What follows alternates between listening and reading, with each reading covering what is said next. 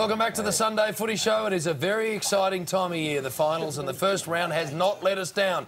Geelong and the Western Bulldogs yesterday, an absolute cracker. The Cats jumped out to a big lead, and then the Dogs, after quarter time, were terrific. Bartel, fantastic. In fact, the big names, BT, stood up yesterday for the Cats. Enright, Ablett, uh, Mooney, who we're just about to talk to, Bartel, they were sensational, and Scarlett played an unbelievable game of football. Akermanis kicked three, again, finds a way to get the job done when the whips are cracking. Gilbee was very, very good as well. So that's how it looks. It's uh, time to welcome the big forward, the power forward from the Cats, Cam Mooney. And Big Moon, congratulations on yesterday's performance. Thanks, mate. We um, yeah, we started off pretty well, and I think that's probably what got us over the line in the end. A big sigh of relief because I reckon for your group, the week off especially important.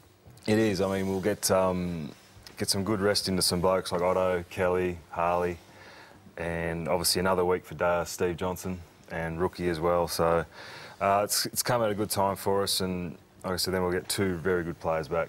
Did you feel like you're tiring towards the end of that game? Yeah, I think. I think we were. I think we put a lot into it in the first half, especially the first quarter and, and the third quarter. Um, you know, they're a very fit, good running side, so they're always going to keep coming and coming. What about that first quarter? Uh, Corey Enright had 17 possessions. Um, just a, a, great start, and what a super year he's had. He has, mate, and he. Um, I think he's starting to get the credit that he deserves. I think he's he's easily one of the best halfbackers in the competition, and I think everyone's starting to see that now. We asked Harry Taylor that, didn't we, last week? And he yep. said uh, he was underrated. He said, well, he's that underrated now that he's rated that he is yeah, rated. Yeah. So, uh, but the, uh, the back six, uh, Moon, that's uh, just to have those boys back now. There's one there, Harry Taylor, of course. This is another bloke there that actually two backmen kicked the first two goals, which was yeah. interesting. Mackie. Then, of course, you've got Scarlo and Dasher and James Kelly coming back, mate. Uh, well, I think it's the key to any any good team, Bill. Yeah. Um, you know, you need your back six or back seven uh, consistently there every week. You know, if you get them there every week, you're always going to be strong. And oh, look at that! And pass. we literally do have one of the best back six going around. I think. Yeah, I think it's really important coming to a final series knowing that you've got a secure back six that are going to be there all the time. They understand each other's games uh, perfectly. Wojcinski was pretty good, yeah. really, in the first quarter as well. Gave them a lot of run. In fact, for the whole game, he was uh, he was a really good player. Outscored them six goals to two in that first quarter. The Cats led by 28 at quarter time was always going to be tough. Just the difference that Brad Ottens makes for you.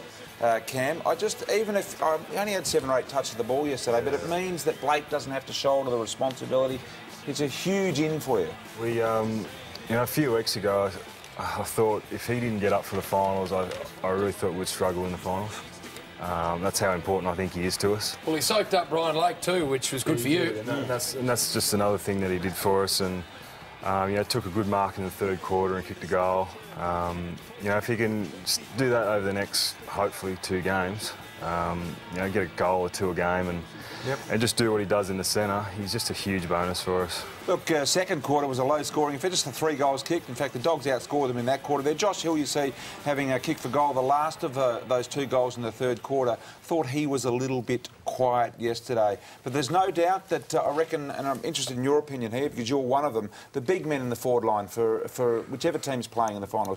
You have two of them, of course, with Tommy Hawkins, who did some good things as well yesterday. How important is that, do you reckon? Uh, I know it's hard for you I to say because you're one of them, but I think we're very important, Brian. um, no, I think you always need a big guy. Um, you know, every, look at every premiership side over the over the years. Maybe West Coast are the only ones that really didn't have a, a huge amount of tall forwards, but you know, most of the guys, most of the teams really do have those power forwards that you you need you need them just to get it, get outlet kind yep. of thing.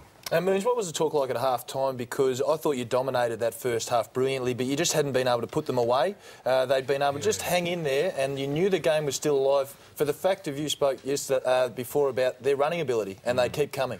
Well, I think we obviously we started well. Second quarter, we, we did not play well at all, so we, we copped a bit of a spray at half time, uh, which was fair enough. And then obviously we came out third quarter and, and, and really played well again. Um, and then the last quarter, kind of, they came at us again. So it was kind of a quarter each kind of thing.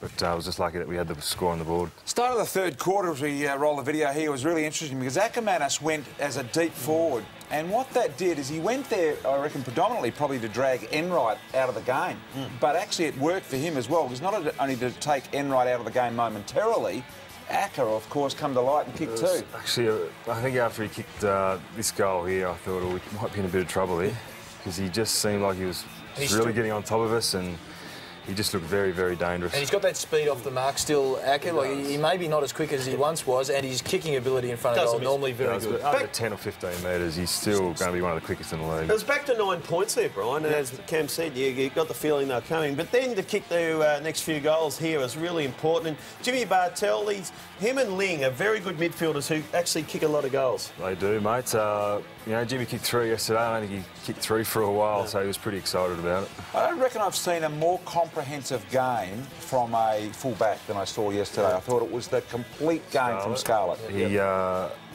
he, well, we gave away, we gave an award away um, at the end of the game. Players voted on obviously who was the best player, and he got our award. So we thought he was sensational, and he is easily, oh, in my opinion, the best fullback in the league anyway. In Moons, in the third quarter when the Bulldogs were coming, I thought a great move was to put Brad Ottens deep, which really took Brian Lake uh, out of the game because Brian Lake started to become a bit dangerous, took him out of the game, and then you had the three talls up there, and your boys bombing it in. You really started to look dangerous Well, again. he's, he's got that great run and carry, Lake, so. You know, we put Ottens down there and put him right to the goal line, which took Brian out of the game a bit. Um, you know, which let us, which did let us get a little bit of run on there a bit, I think.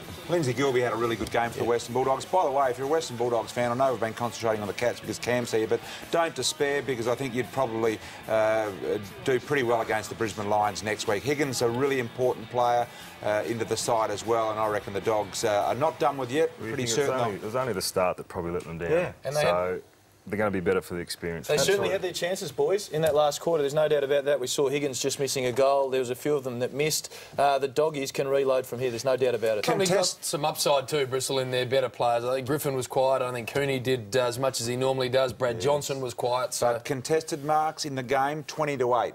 Who takes contested marks mainly?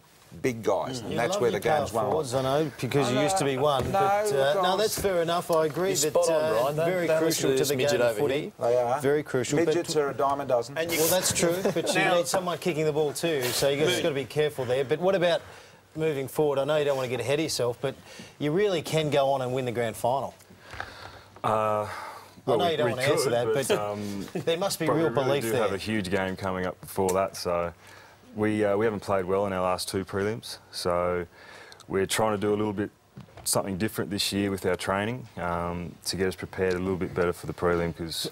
Would, would that mean train main- more or train less? Or I think we. Well, don't want to we- tell us. Oh, no, I think we intend to train a bit harder this week Yep. and rest up next week. I think last couple of years we've kind of trained a bit harder going into the Second prelim week. second Okay. week, which really has uh, hasn't done us that good. And would that mean you have the weekend off as well?